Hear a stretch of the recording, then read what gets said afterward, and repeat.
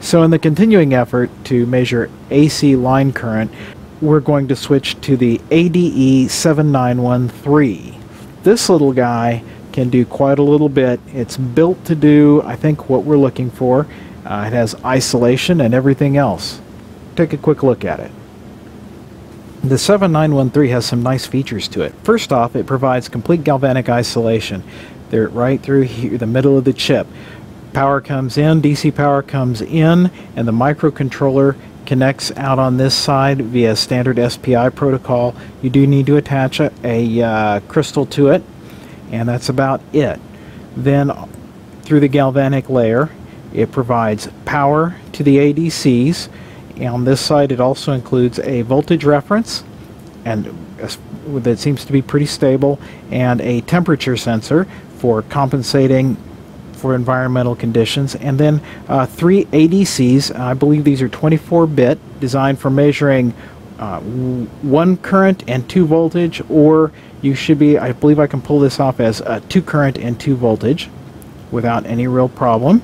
And so that should measure my two loads and my line voltage. All I have to do is hook it up right here and then read the data. Let's see how that goes. So here's the test setup for today. Initially we're going to start with a DC load to our level shifter, to the microcontroller, and out to the PC. Let's see how it works. For the initial test setup we're going to use a high current DC power supply down to a DC load, down to the uh, meter to monitor the current more accurately.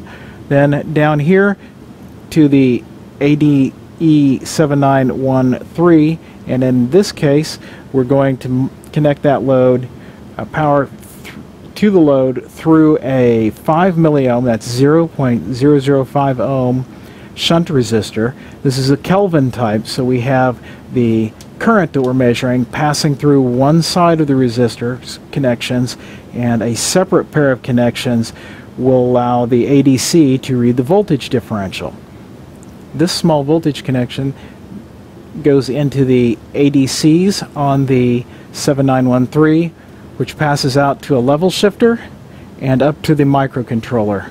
Uh, the reason for a level shifter is that the ADC, ADE7913 only runs at 3.3 volts and this microcontroller, the Arduino Leonardo, is running at 5 volts. So I need to translate that just to be safe. So let's give it a run.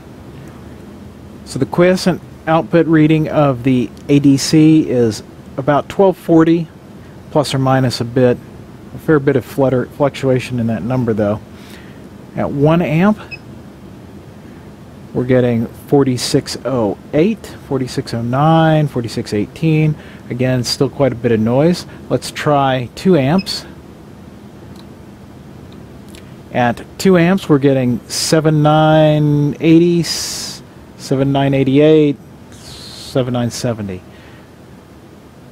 Let's move up to about 4 amps and see what we get. 17 what sorry 147.10 up to 147.20 let's see how linear that is. So let's run the numbers on the DC test. On the 7913 we had a null output that's at 0 amps of 1240 that was our count.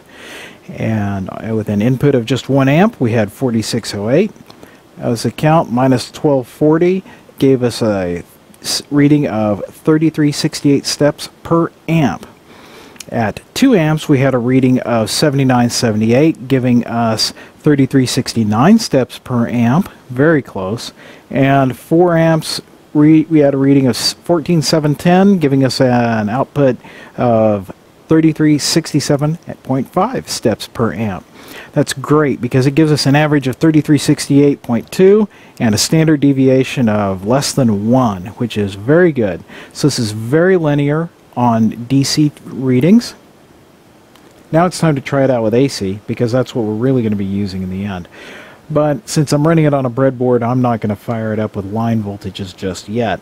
So right now, we'll start with a 12 volt AC input. That will pass through the shunt through our load, which in this case is just a couple of uh, small low voltage light bulbs, and then pass back through our DMM to give us a nice steady RMS current reading. That shunt is then fed into the ADC across the galvanic isolation barrier here and out through the level shifter to the microcontroller, our Arduino in this case, and then off to the PC.